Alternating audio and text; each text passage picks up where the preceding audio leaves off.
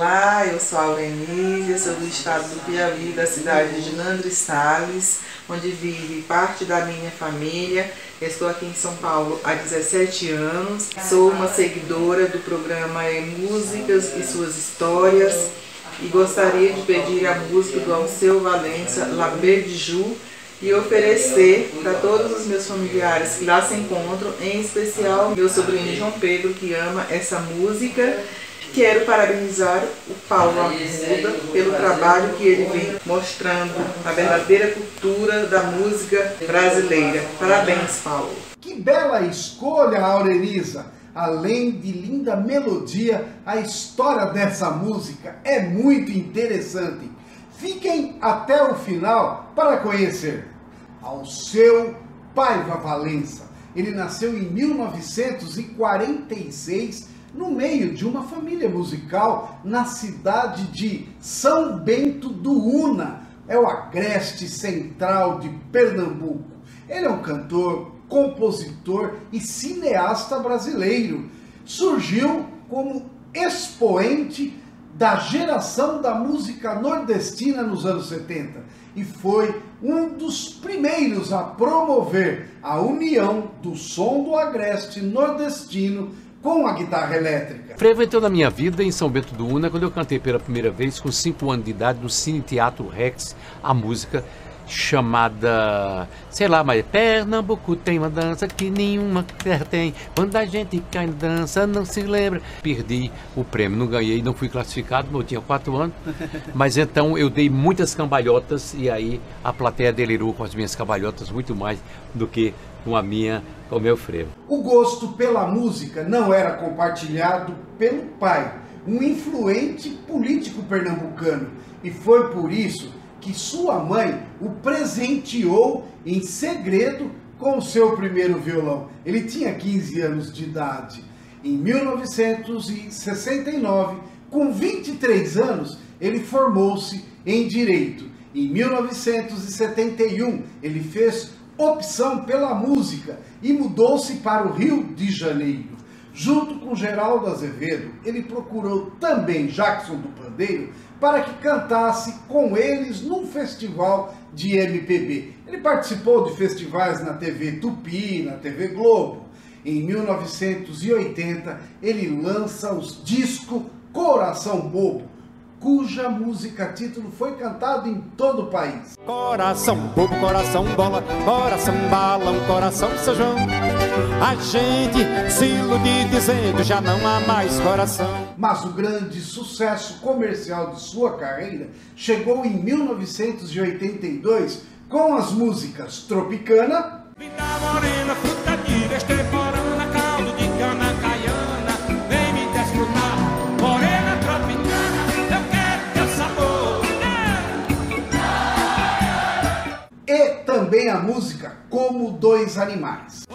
Mistério e segredo, e muito mais. Foi divino brinquedo, e muito mais. Se amar como dois animais. Alceu Valença passou o ano de 1979 na França. Partiu em alto exílio com os artistas Raul Seixas e Jardes Macalé, como uma forma de contestar a ditadura militar existente aqui no Brasil naquela época. Era é eu, Raul Seixas, é, Macalé e outros eram dados como malditos, ou seja, e eu acho que eram benditos pelo seguinte, por causa da loucura, uma certa loucura. O artista careta, ele, ele não passa a verdade, tá entendendo? Era uma perseguição que acontecia com a gente, eu nunca segui, e até hoje, ninguém nunca mandou em mim. Fez muito sucesso por lá e no mesmo ano de 1979 ele gravou o disco chamado Saudade de Pernambuco. Como adorou a França, ele retorna ao país em 1986 para um festival. Após a apresentação, foi a um bar com um produtor. Olha, querem saber mais sobre essa mulher que fala na música La Belle de Joux? A Belle de Joux é uma mistura. Pelo seguinte, eu tinha uma namorada minha que, por acaso, é, ela teve que acabar esse relacionamento comigo é, né, atrás, que ia embora para Paris, ela ia estudar o quê? Ia estudar balé em Paris, tá? Eu fui para Paris participar de um festival. Eu estava num bar, estava bebendo no bar, estava doidão bebendo, quando passo por uma mulher divinamente bela e era Jaqueline Bisset.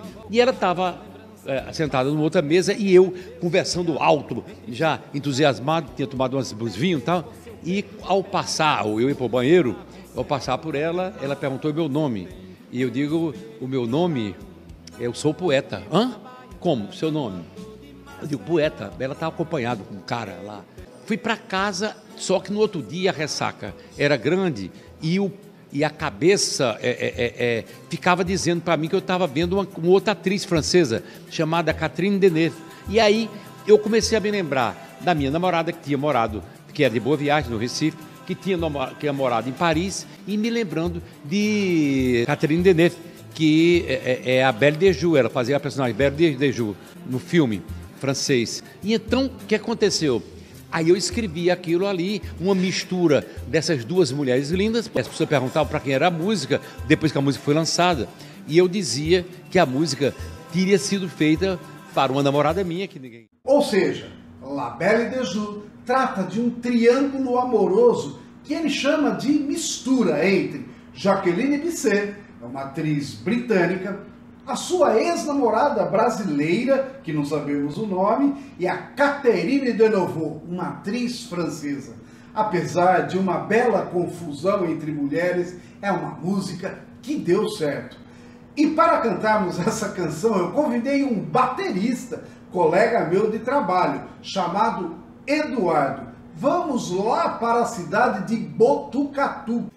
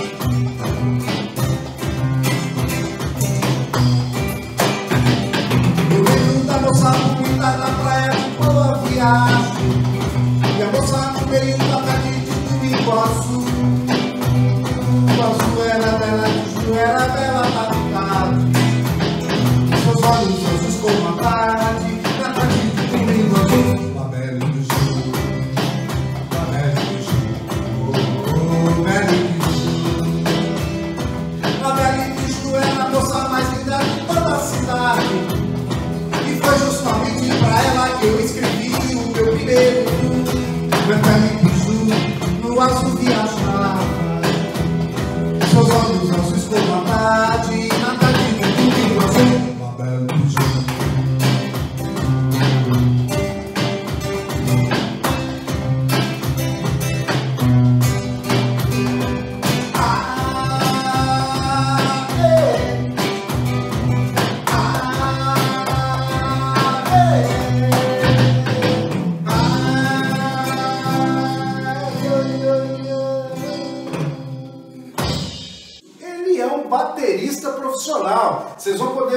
pedacinho do conjunto dele. Ô, oh, Paulo, primeiramente agradecer pela oportunidade de receber aqui em Botucatu, participar do teu canal, canal que eu sigo e peço que todo mundo aí curta o som. Eu lembro que meu primeiro instrumento musical foi uma guitarra que eu comprei. Primeiro trabalho que eu tive com a carteira assinada que a gente fala foi de ajudante de marinheiro, né? Trabalhava no veleiro, limpava E nesse tempo meu pai me deu uma bateria. tive um grupo de amigos aí que tinha uma banda chamada Garagem do Som. Depois veio a banda Caiçaras, que é de São Sebastião, saiu do Garagem do Som, eles gostaram, um dia a gente fez um show junto. Depois saiu do Caiçaras, aí hoje temos o Tomcats, banda Tomcats.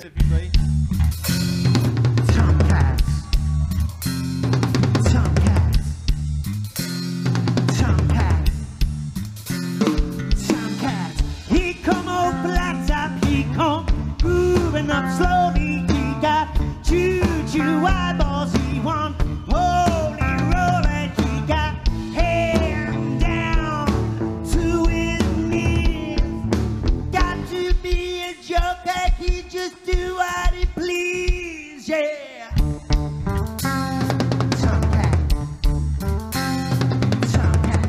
Que história bacana, não é mesmo? Olha, se você está gostando do nosso canal, recomende aos seus amigos. Nós estamos em busca de novos seguidores. Compartilhem esse e outros vídeos para fazermos novas amizades através da música. Valeu, gente!